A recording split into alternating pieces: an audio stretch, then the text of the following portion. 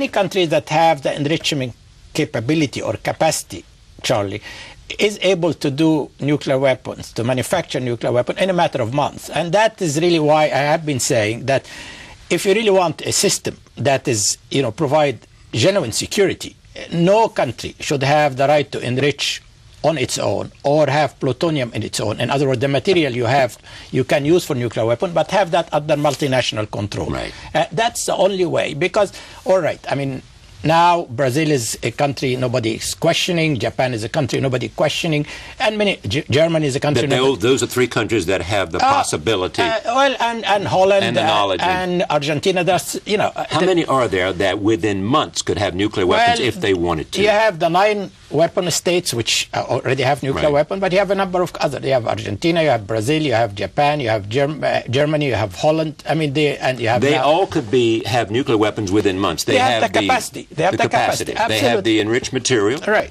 And they have the know-how. Right, exactly, and that is that is as I said, it's a- it's it's a margin of, of, of security too close for comfort, Right. and uh, Iran brought that issue to the surface. You know, can we live under that system of security that you go all the way?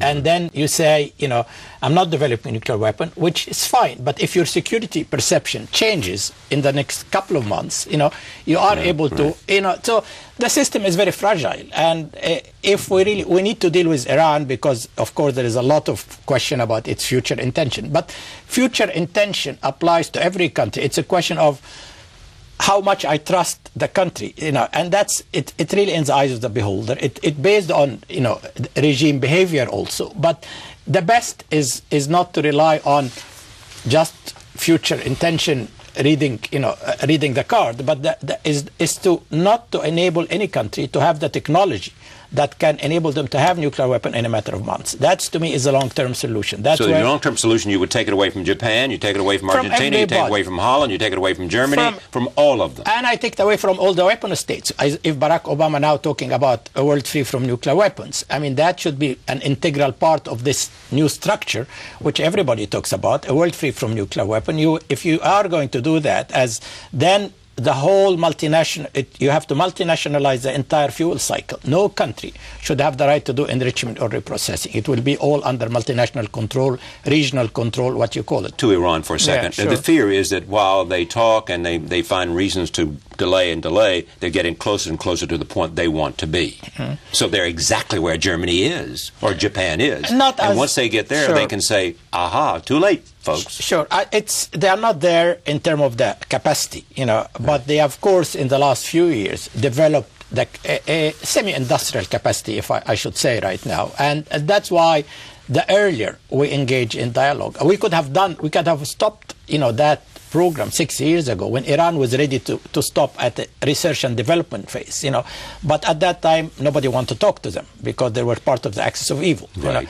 And later on, they, they, they put an impossible condition to accept, for Iran to accept, saying suspend everything before we, before we negotiate. Well, that's the whole purpose of, of negotiation. The outcome should be So you made- think we really missed an opportunity? Oh, we mismanaged six years of, of, of dealing with Iran. And uh, right now, you know, I- Iran at, uh, six years ago had a... but it always takes two to tango, as they yeah, say. uh, but but I, I must say, as I say, in fairness, at least to Iran, I mean, they have always said we, we are ready to negotiate, we are ready to talk, uh, whether they were serious or not. But at least they made the offer verbally through the Swiss, through myself. I mean, a number of times, always said we are ready to discuss everything.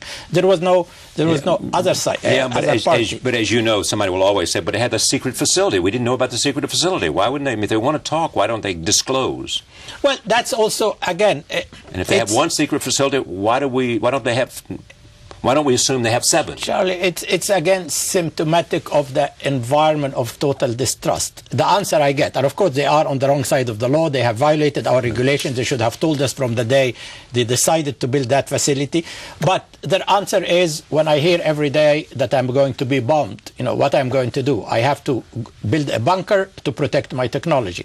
Whether that is true or not, but that is, you know, at least they have the pretext to say that. And I wish people stop saying we are going to use force because it provides pretext. I hope Iran, of course, should But have. nobody said they're going to bomb them. They've just said there's an option on the table. haven't Well, but I mean, an option on the table. Yeah. If you say there is every option all the time, I mean, it's Yeah. implicitly, and, and there was a lot of discussion that the Israelis, you know, there is a deadline, timeline, and uh, It is not good because the solution is not a military. There is no military solution. You know, it would it could only delay the Iranian program. In fact, if there is, Iran were to be bombed, and even if if Iran were not really going for a nuclear weapon, I bet everything they will go for a crash course to develop nuclear weapon if they were bombed.